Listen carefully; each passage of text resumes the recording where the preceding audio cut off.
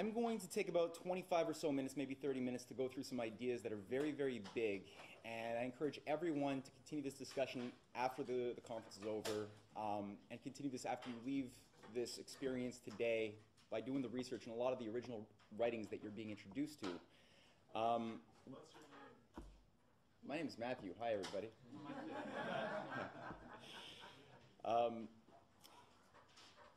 as we've seen from the previous presentations, there comes points in human history where we encounter pregnant moments, moments where the ideas that organize the society into a certain direction um, confront reality, where reality starts pressing upon the conceptions that we've been allowing ourselves as a, a species governed by um, free will to either obey or not obey. So there's a certain reality, and if our ideas are not in harmony with that reality, that reality will come creeping up on us in the form of an unnecessary war, and the realization that we haven't been producing what we needed to produce to sustain our population, and we have a, a collapse, in the form of banking meltdowns where people start worshiping money, thinking that that's the source of value and power and wealth instead of something more profound and more real. At, at, and we've seen this historically, right? Where, where folly drives a people to obey ideas that they should otherwise know are wrong to the point that they pay, they pay the piper. You have a collapse of civilization, you have banking collapses, you have unnecessary wars. And the, the question is do we have the wits to foresee into the future the consequences of bad ideas, wrong ideas, and change them through a process of deliberation, wisdom, courage, before our children pay the, you know, pay the effects? And we're sitting today, as, as, we all know, on the, on the biggest bubble, financial bubble in history. We're sitting on the verge of a major war between NATO powers and countries that want to have a future, like Russia, China, and their allies. And this is not the first time. However, this is the first time that this has happened on such a large scale, and the first time that we've had atomic weapons peppered all over the earth. Um, I'm going to introduce something which has been touched upon in previous presentations uh, by looking at somebody who Mr. LaRouche has cited on many an occasion as being a key figure in this battle towards liberating mankind from the folly of self destruction, who is a leading scientist, somebody who most North Americans don't even know, and yet who is a, a national hero in Russia, a leading member of the Russian Academy of Science, as is Mr. Lyndon LaRouche himself, who is a member of the Russian Academy of Science. But this man was named Vladimir Ivanovich Vernadsky. And Vladimir Ivanovich Vernadsky is a man who is known to be the founder of a field of study called biogeochemistry, but he's much more than that. He's an individual who was born during the American Civil War in Russia, in St. Petersburg. He had um, died in, right at the end of World War II. So he lived through a very turbulent period of history. And just as we heard from Gilles, the uh, the fact that it, the American experience of the American Revolution or the American Civil War were not American experiences. They ex- there are certain battles that happened geographically expressing themselves in the form of the United States, but they were globally extended processes. Right?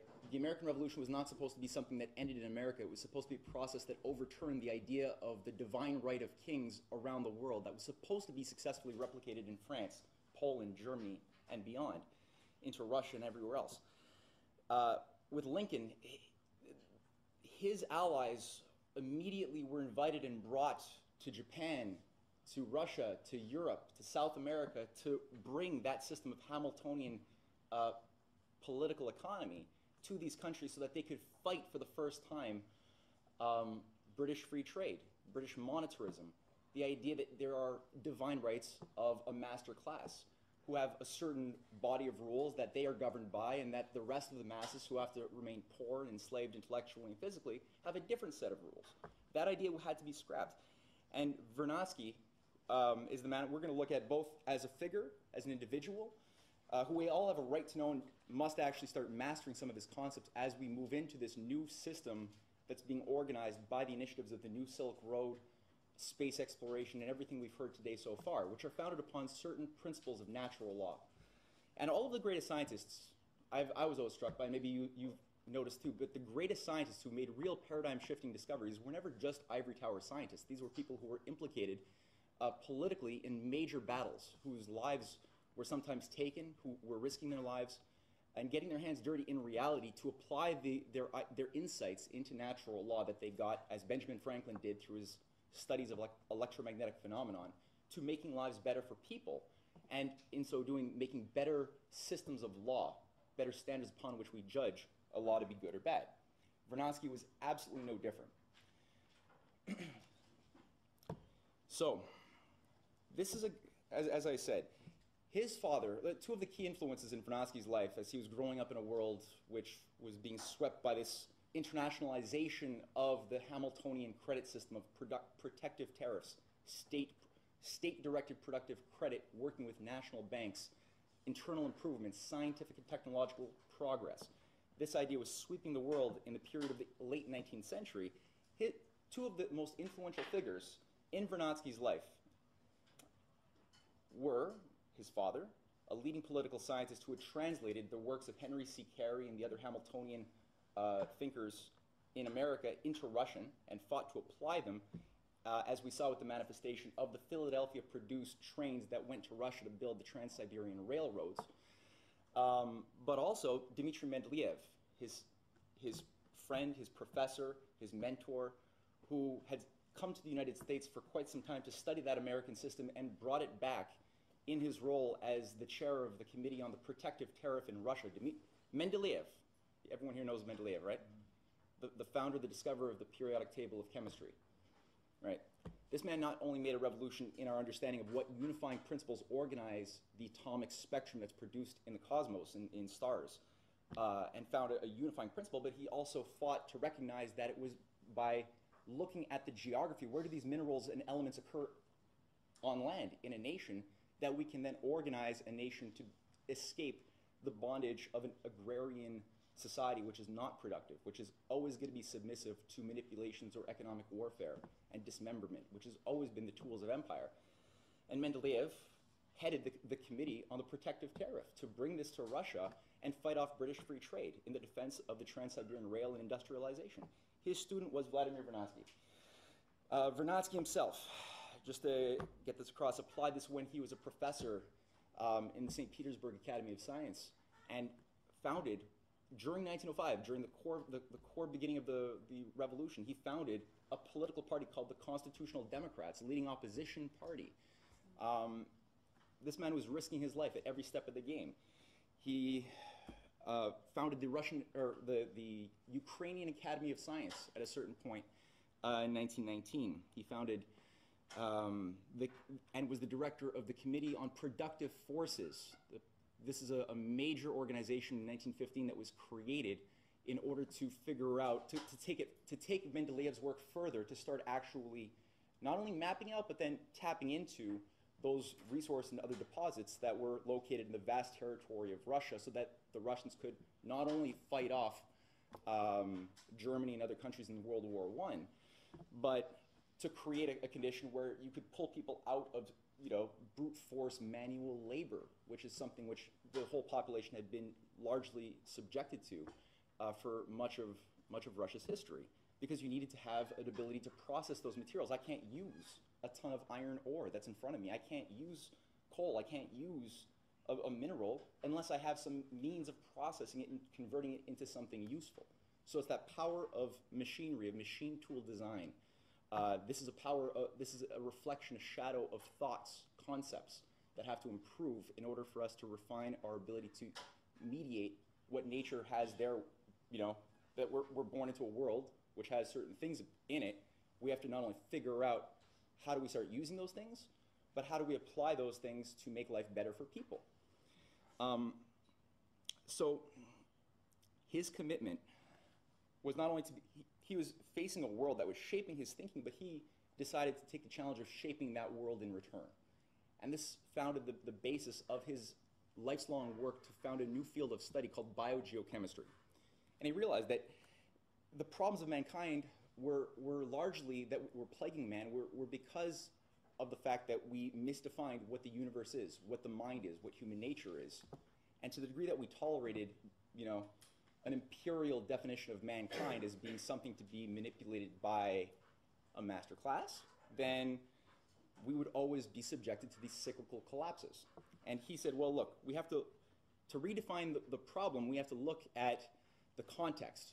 Biology, nor chemistry, nor physics, uh, nor geology occurs separately. All of them are fields, but that inter interconnect. The reason why we have mineral deposits is largely on the Earth is because you have hundreds of millions of years of life, you know, producing and uh, areas where you have iron deposits. This is this is produced largely because of certain types of bacterial formations over time, utilizing iron, concentrating in certain areas, and then over time you have the the buildup of certain deposits. Um, you don't seem to have those things in places like the moon, where there isn't much of a presence of life, as we we now know. You have a much more dispersed form of atomic spectrum on the Earth's surface. On the uh, on the moon surface, on the Earth's surface, you have it much more concentrated in, in areas where you can actually access it. Um, the the very existence of our ozone layer could not exist were it not for the appearance of certain forms of living technology like photosynthesis, the chlorophyll molecule that could produce free oxygen in a, in a way that allowed it to accumulate, that thus had a certain effect you know, upon how life could then evolve in an environment by limiting a certain amount of the ultraviolet light and X-ray light that would otherwise be very destructive. You wouldn't want to live in a, on a world with no ozone layer. But the ozone layer couldn't exist were it not for the development of certain type of bio biological creations uh, like photosynthesis. So he saw that there was an interconnectedness, and he said, let's, let's on the one hand, create a new field of study, um, and let's observe as well that all of the observable and discoverable, meaning discovered and not yet discovered forms of um, existence, atomic existence, energetic and atomic, exist either in one of three forms. Either it, ex it exists in the form where it's animated by life, in which case we'll have the biosphere, where it, you have atoms that are not animated by life, right? Walk around, you see some rocks, concrete, well, concrete's another thing, rocks. uh, you, these are, there's carbon in them, there's carbon in the plant, but it's not the same carbon because it's not animated by the same action, the, the same principle. So you have the abiosphere, or the, lith, the lithosphere, atoms not organized by life. You have the living domain of the biosphere and its effects. And then you have something else, a higher domain, which Vernadsky helped shape and helped define in a way that even today is not fully appreciated. Vernadsky wrote that the biosphere constitutes a definite geological envelope sharply differentiated from all other geological envelopes of our planet. This is so not only because the biosphere is populated by living matter, having enormous significance as a geological force, completely re reworking the biosphere and transforming its physical, chemical, and mecha mechanical properties. In addition, this is the sole envelope of the planet, penetrated in an appreciable way by cosmic energy, which transforms it even more than living matter does. The main source of this energy is the sun. The sun's energy, thermal, light, and chemical energy, is, together with the energy of the chemical elements, the primary source for the creation of living matter. So what do you have when you look at the, the biosphere is the fact that you have a phenomenon which directly is being driven in all of its cycles, right? The growth of the new seasons, the growth of new species every year. Uh, you have a certain cyclical, constant motion with of, of of energy and atoms constantly taking in and, and uh, energy from the sun and from the galaxy as a whole into a thin envelope, as he defines it, as cosmic in nature. So you have, he says, you can't just look at the biosphere as a sum total of living things. You have to take the broader scope of space to see that this has an environment unto itself as well, which is cosmic in its nature. It has a certain geometry to it, and when you start looking at things from that broader standpoint, you realize that, well, not only uh, do we have a certain spectrum of living things in one system of time, but these things didn't, didn't always exist. 99.9% of the species that have existed don't exist anymore. So then we have to confront the, the, the question, what, uh, what is really the biosphere as a process of change? Are there any discoverable mechanisms organizing its directionality. Does it have a directionality or is it all random? Right? These are basic fundamental questions which we can only ask if we take a proper context in our mind, a unified context to start looking at the problem. And indeed, when you start looking not only uh, spatially at the broader picture, but you could also begin looking temporally.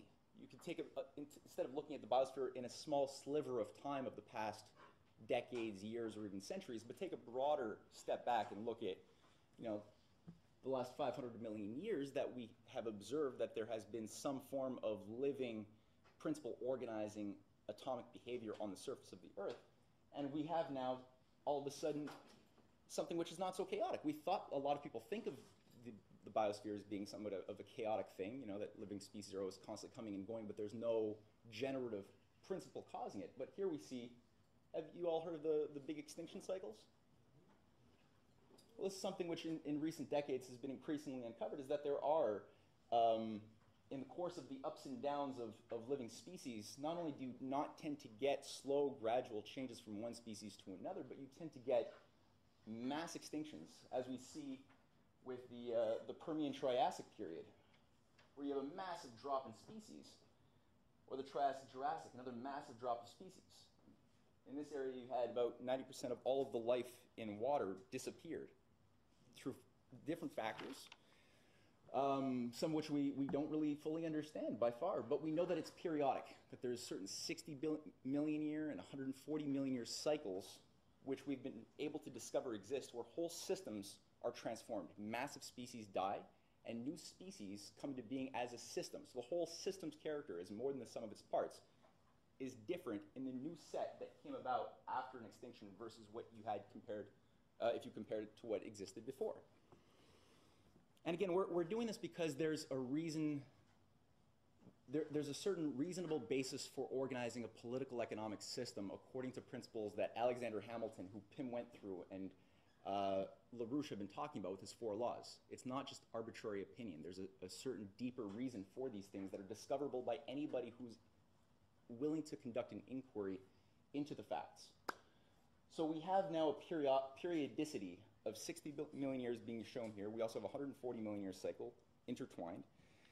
Vernadsky makes the point that the mechanism is the, that, that we're going to look at that will determine what allows for one species to exist or one system to exist and one system to go away is located in a function known as the bioge biogenic migration of atoms, where he writes, the biogenic migration is linked in the most intimate way and genetically to the matter of the living organism, to its existence. Um, the organism lives as long as the current of, oh, Cuvier gave a correct and precise definition of the living organism during its life as an incessant current, a whirlpool of atoms which come from the exterior and return there. The organism lives as long as the current of atoms subsists. Right, so we're constantly breathing in, eating, drinking, all sorts of atoms in different states of matter, and then it's leaving us in a different form, and you have a constant current. Obviously, when you die, that current no longer exists. Each organism on its own, or all organisms taken together as one system, continually create, by respiration, nutrition, internal metabolism, reproduction, a biogenic current of atoms which con construct and maintain living matter. So, in looking at this, this is a simplified uh, graph looking at these cycles, but this doesn't indicate that we have any direction. It just means that you have change. But this is, and if you just look at this graph, it would look like the change is being driven just by, you know, things growing, collapsing, growing, collapsing, like any civilization historically grows, collapses. But this is actually not reality, because reality, if you actually look at the, the evidence shown so far in the fossil records that we have access to, uh, evidence is indicating that, in fact, you do have, just like in human civilizations, population growth. It seems like you have these growth and collapses. If you take a broader scope, you realize that the population is actually not going back to square one. We're not, oh, every time you have a civilization collapse or a dark age, you don't just go back to the Stone Age. There's a certain basis upon which you have a, a growth function. But then again, how does the biogenic migration of atoms express itself in this growth function? And what Vernadsky zeroes in on is that he calls it one of his geochemical principles. The evolution of species leading to the creation of new stable living forms must move in the direction of an increasing of the biogenic migration of atoms in the biosphere. I'm sorry that I don't have enough time to really elaborate on this as much as I'd like, but we'll have to move through it and can post questions maybe after the conference is over. Uh, one way of looking at this is that not only do you have a greater quantity of the overall organisms, but you also have a growth qualitatively, as we've seen that there's a certain ratio between lower metabolic rate organisms and higher ones, ones that have a greater power of converting matter and energy into work um, over time. So we're going to look at some examples, about four of them, just to get a, a, flavor. There's thousands of examples, though, that, that exist on our website and on other websites, which will give this more definition. so one example between the, there's something known as the, uh, the PT extinction, one of those, the big extinction where I said 90% of the marine life disappeared. Um, there's one example of two types of mollusks. One is called an articulated brachiopod. The other one is called the bivalve mollusk. Both of them have a very similar biogeochemical identity in the sense that both of them take in certain types of, of chemicals. They, they use certain types of foods. They have certain types of common uh, uh, predators. And they both ser serve a similar function in terms of what they do if you follow the, their behavior. However, one of them took a really big hit. This one, which was the dominant one of the two. They both coexisted, but this one being dominant before this extinction cycle uh, completely took a hit and almost became, you know, was, was wiped out. Whereas this one, the bivalve mollusk, just continued to grow and actually thrive, becoming the hegemonic one. What's the difference between the two? They do the same thing, they're very similar, except one of them has a metabolism which is about 10 times greater in its intensity than the, than the articul articulated brachiopod. This one has to consume approximately 10 times more, but it has more of an efficient conversion of matter into energy to perform work than the one that took the big hit. An example of species, for example, mammals. We know mammals were relatively newer in their appearance in the biosphere than either reptiles or amphibians. Amphibians came much, much earlier. If you look at the, the food absorption in either a lizard or a mammal, you got two different relative functions, where one of them, if you look at the, the, your average reptile, this is not every reptile, but you have a, a 75 to 90% metabolism in terms of the food that's absorbed, that's not excreted. Um, that means that food becomes energy that allows the, the, the, animal to, the organism to perform actions, which it needs to do. And about 10 to 25% become new biomass. So you have a constant turnover of cells in your body, of, of atoms that make you up are constantly changing. That is replenished in a much larger proportion than the, the mammal species, which on average only has about 1 to 3% becoming new biomass, replenishing dead cells, and about 97 to 99% becoming direct energy for heat for actions. This, as we know, gives animals an advantage whereby we have greater mobility, right? Greater ability to regulate internal heating so you don't just die in the winter. You don't just free, you know, you don't literally just stop moving when it's cold as you have a problem with a crocodile in wintertime in Montreal. That thing's not going to last. Um, but also there's certain other things that we're going to touch on.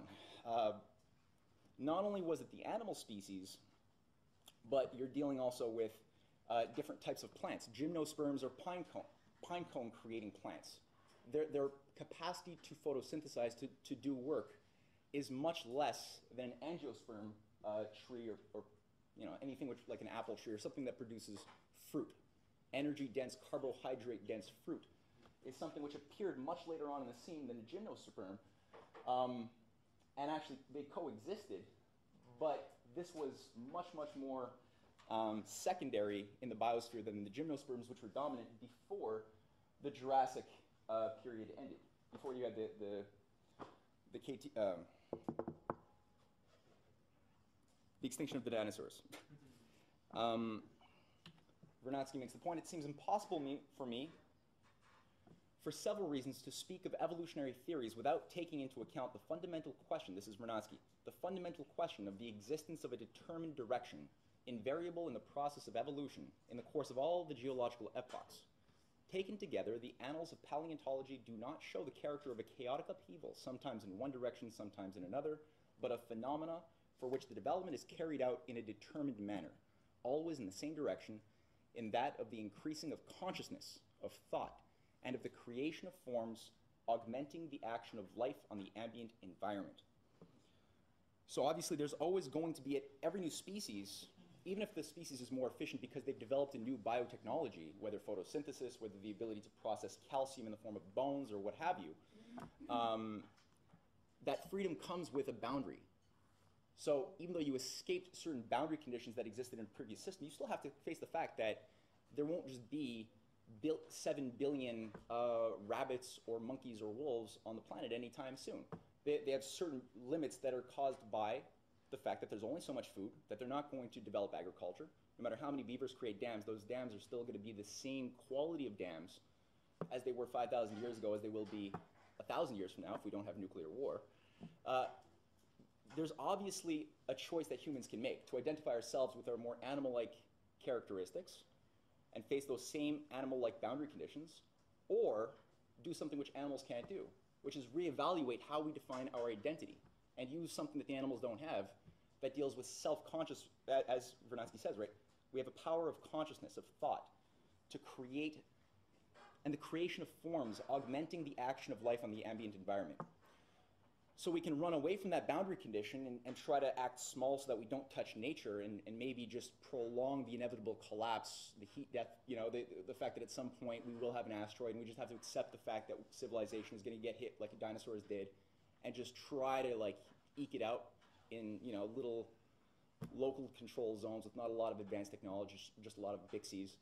Or we could run to look at run towards those boundary conditions by investing more in those things that will allow us to stop an asteroid.